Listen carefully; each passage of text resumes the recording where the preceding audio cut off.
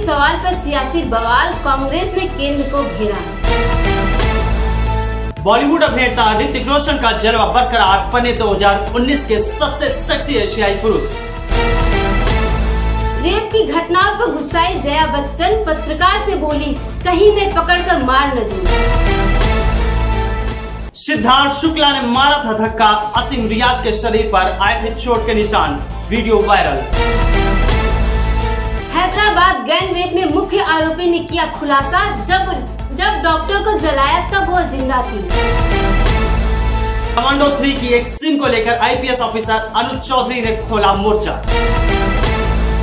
प्याज की बढ़ती कीमतों को लेकर मोदी सरकार ने बुलाई बड़ी बैठक। साउथ एशियन गेम्स में भारत ने 15 गोल्ड समेत जीते कुल 29 पदक। अंक तालिका में स्थिति है बेहतर। 60 साल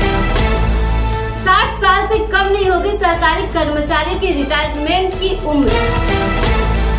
लाल सिंह चड्ढा की शूटिंग के लिए जैसलमेर पहुँचे बॉलीवुड अभिनेता आमिर खान।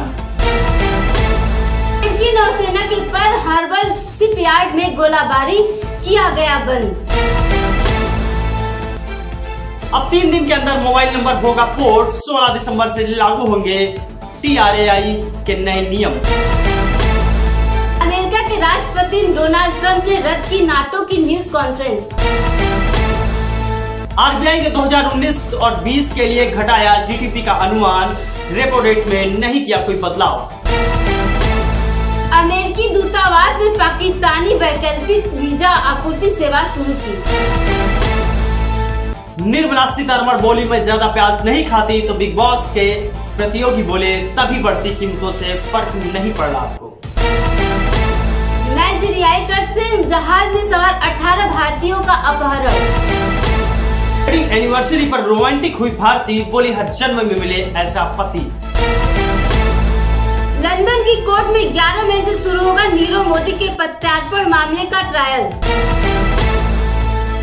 देश विदेश से लेकर आसपास की सभी बड़ी खबरों को सबसे पहले देखने के लिए सब्सक्राइब कीजिए न्यूज़ एंड व्यूज़ को।